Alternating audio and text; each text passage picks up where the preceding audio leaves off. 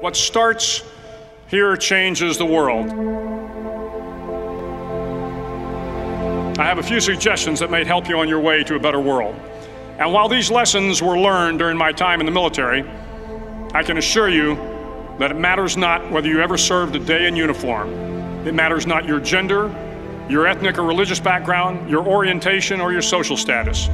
Our struggles in this world are similar, and the lessons to overcome those struggles and to move forward, changing ourselves and changing the world around us, will apply equally to all.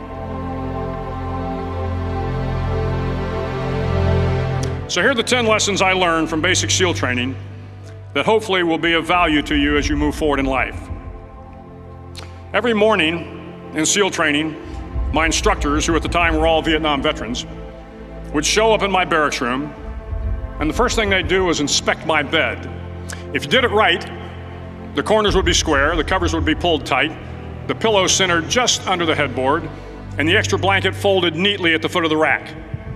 It was a simple task, mundane at best, but every morning we were required to make our bed to perfection. It seemed a little ridiculous at the time, particularly in light of the fact that we were aspiring to be real warriors, tough, battle hardened SEALs. But the wisdom of this simple act has been proven to me many times over. If you make your bed every morning, you will have accomplished the first task of the day. It will give you a small sense of pride, and it will encourage you to do another task and another and another. And by the end of the day, that one task completed will have turned into many tasks completed.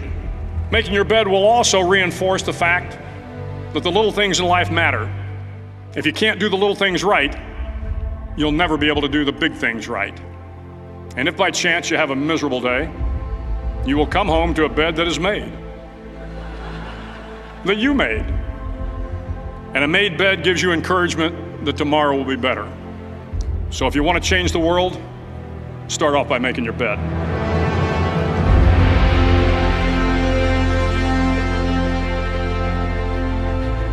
During SEAL training, the students during training, the students are all broken down into boat crews. Each crew is seven students, three on each side of a small rubber boat, and one coxswain to help guide the dinghy.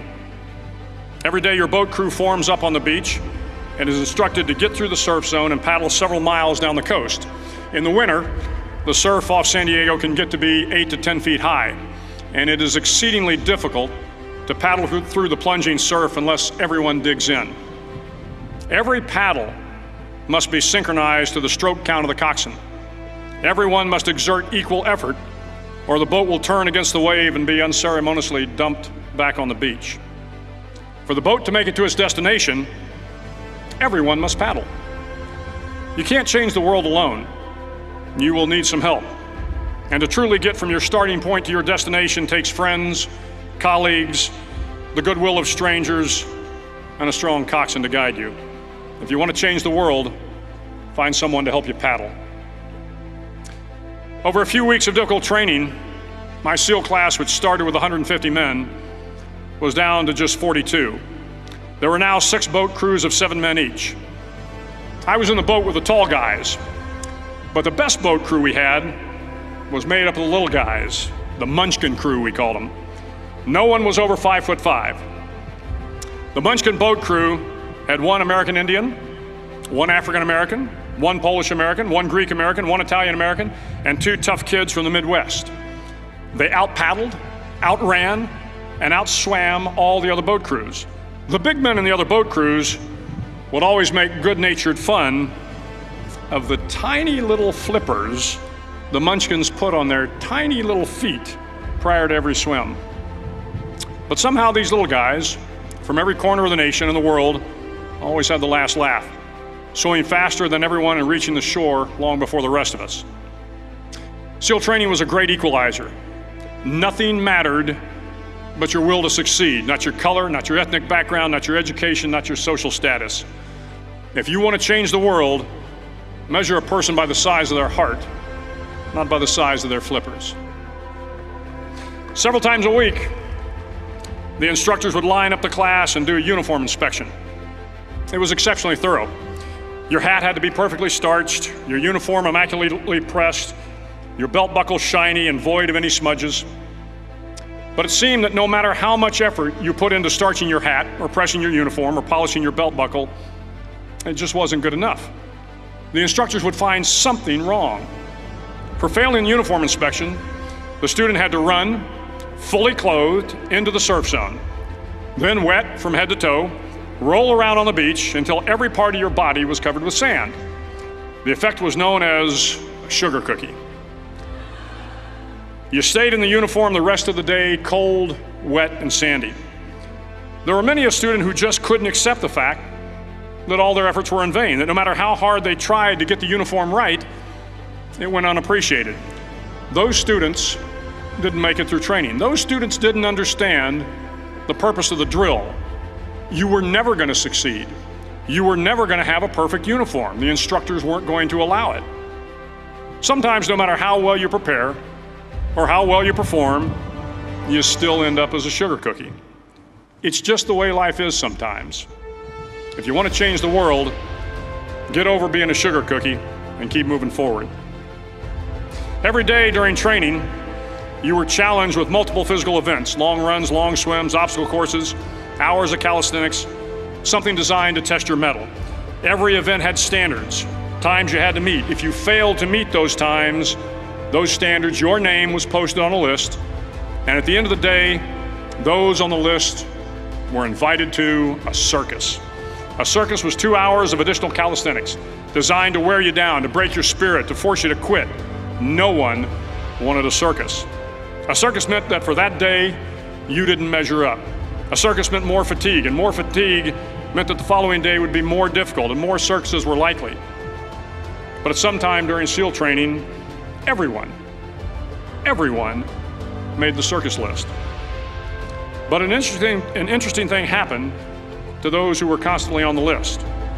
Over time, those students who did two hours of extra calisthenics got stronger and stronger. The pain of the circuses built inner strength and physical resiliency. Life is filled with circuses. You will fail. You will likely fail often. It will be painful. It will be discouraging. At times it will test you to your very core. But if you don't if you want to change the world, don't be afraid of the circuses. At least twice a week, the trainees were required to run the obstacle course. The obstacle course contained 25 obstacles, including a 10 foot wall, a 30 foot cargo net, a barbed wire crawl, to name a few. But the most challenging obstacle was the slide for life. It had a three level, 30 foot tower at one end and a one level tower at the other. In between was a 200 foot long rope. You had to climb the three tiered tower, and once at the top, you grabbed the rope, swung underneath the rope, and pulled yourself hand over hand until you got to the other end. The record for the obstacle course had stood for years when my class began in 1977. The record seemed unbeatable until one day a student decided to go down the slide for life head first. Instead of swinging his body underneath the rope and inching his way down, he bravely mounted the top of the rope and thrust himself forward. It was a dangerous move, seemingly foolish and fraught with risk. Failure could mean injury and being dropped from the course. Without hesitation, the student slid down the rope perilously fast. Instead of several minutes, it only took him half that time. And by the end of the course, he had broken the record. If you want to change the world, sometimes you have to slide down the obstacles head first. During the land warfare phase of training, the students are flown out to San Clemente Island, which lies off the coast of San Diego. The waters off San Clemente are a breeding ground for the great white sharks. To pass SEAL training, there are a series of long swims that must be completed. One is the night swim. Before the swim, the instructors joyfully brief the students on all the species of sharks that inhabit the waters off San Clemente. They assure you, however, that no student has ever been eaten by a shark at least not that they can remember. But you are also taught that if a shark begins to circle your position, stand your ground. Do not swim away. Do not act afraid. And if the shark, hungry for a midnight snack, darts towards you, then summons up all your strength and punch him in the snout, and he will turn and swim away. There are a lot of sharks in the world. If you hope to complete the swim, you will have to deal with them. So if you want to change the world, don't back down from the sharks. As Navy SEALs, one of our jobs is to conduct underwater attacks against enemy shipping. We practice this technique ex extensively during training. The ship attack mission is where a pair of SEAL divers is dropped off outside an enemy harbor and then swims well over two miles underwater using nothing but a depth gauge and a compass to get to the target. During the entire swim, even well below the surface, there is some light that comes through. It is comforting to know that there is open water above you. But as you approach the ship, which is tied to a pier, the light begins to fade. The steel structure of the ship blocks the moonlight. It blocks the surrounding street lamps. It blocks all ambient light. To be successful in your mission, you have to swim under the ship and find the keel, the center line, and the deepest part of the ship. This is your objective. But the keel is also the darkest part of the ship, where you cannot see your hand in front of your face, where the noise from the ship's machinery is deafening, and where it gets to be easily disoriented, and you can fail. Every SEAL knows that under the keel, at that darkest moment of the mission, is a time when you need to be calm, when you must be calm, when you must be composed, when all your tactical skills, your physical power, and your inner strength must be brought to bear. If you want to change the world, you must be your very best in the darkest moments. The ninth week of training is referred to as Hell Week. It is six days of no sleep, constant physical and mental harassment, and one special day at the Mud Flats. The Mud Flats are an area between San Diego and Tijuana where the water runs off and creates the Tijuana Sloughs, a swampy patch of terrain where the mud will engulf you. It is on Wednesday of Hell Week that you paddle down to the mud flats and spend the next 15 hours trying to survive this freezing cold, the howling wind, and the incessant pressure to quit from the instructors. As the sun began to set that Wednesday evening, my training class, having committed some egregious infraction of the rules, was ordered into the mud. The mud consumed each man till there was nothing visible but our heads. The instructors told us we could leave the mud if only five men would quit. Only five men, just five men, and we could get out of the oppressive cold. Looking around the mud flat, it was apparent that some students were about to give up. It was still over eight hours till the sun came up. Eight more hours of bone chilling cold. The chattering teeth and the shivering moans of the trainees were so loud, it was hard to hear anything.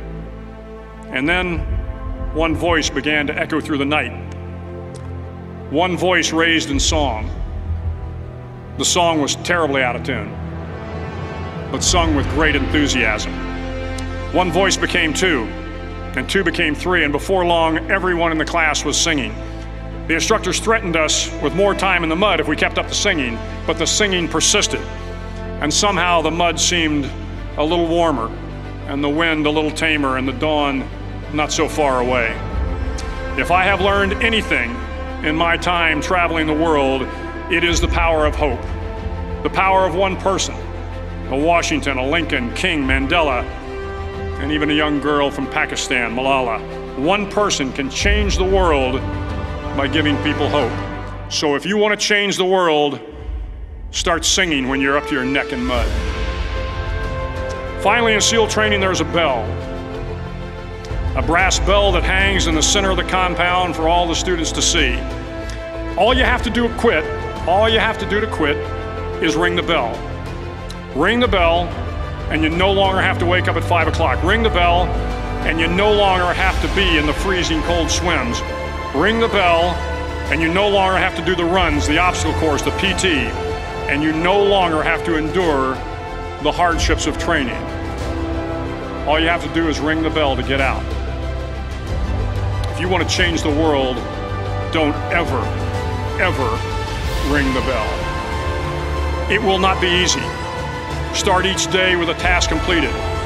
Find someone to help you through life. Respect everyone. Know that life is not fair and that you will fail often. But if you take some risks, step up when the times are the toughest, face down the bullies, lift up the downtrodden, and never, ever give up. If you do these things, the next generation and the generations that follow will live in a world far better than the one we have today. And what started here will indeed have changed the world for the better. Thank you very much.